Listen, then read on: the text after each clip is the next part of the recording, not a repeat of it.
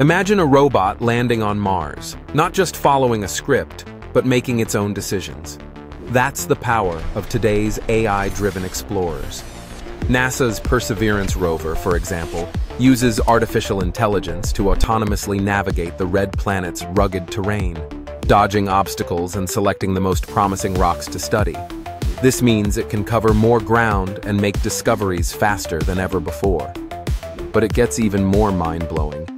AI robots like the European Space Agency's Rosalind Franklin rover can analyze soil samples on the spot, searching for signs of life and sending detailed data back to Earth in real time.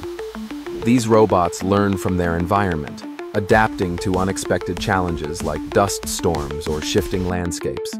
AI even enables them to prioritize which findings are most important, ensuring scientists receive the most valuable information first. Thanks to these advances, we're uncovering breathtaking landscapes, ancient riverbeds, and mysterious chemical signatures that hint at life beyond Earth. The age of AI-driven space exploration is here, and it's rewriting our understanding of the cosmos.